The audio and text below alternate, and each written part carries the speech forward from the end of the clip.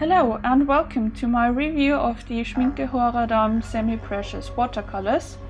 I've put three paints in a little tin, I've made that myself, and they are red opalite, lapis lazuli and green porphyry.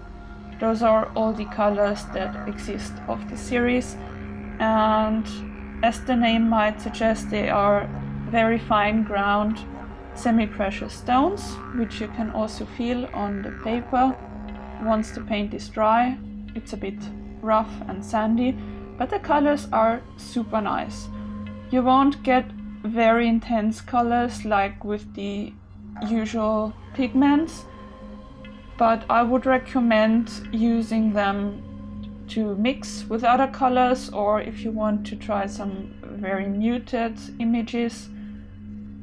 And in this picture that I'm drawing, this painting of an Australian landscape, you can see they're really, really good for nature studies because all these colors are naturally where you see them, especially the red, the red opalite. I, I saw it and I thought, okay, that, that looks Australian as heck.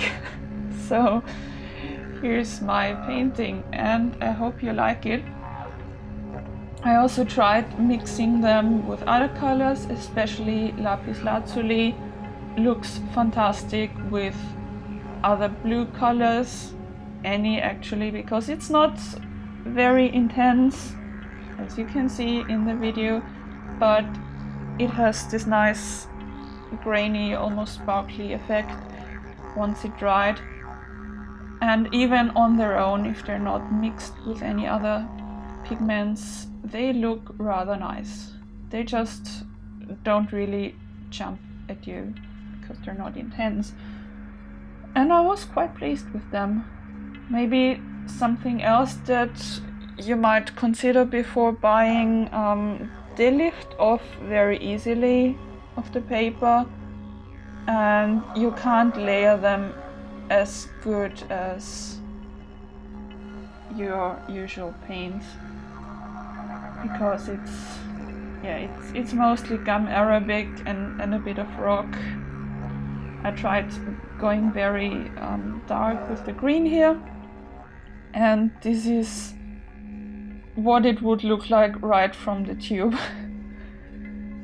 And if you have them in a tin or in, in those little pans maybe re-wet them a bit before you use them five minutes is enough but please, please, please, please let them dry before you wiggle them around or put them in a drawer because if they're too wet, they might run out. And I had this problem with lapis lazuli, and now half of my tin is dark blue. I'm not complaining because it's a beautiful color, but yeah, that can happen.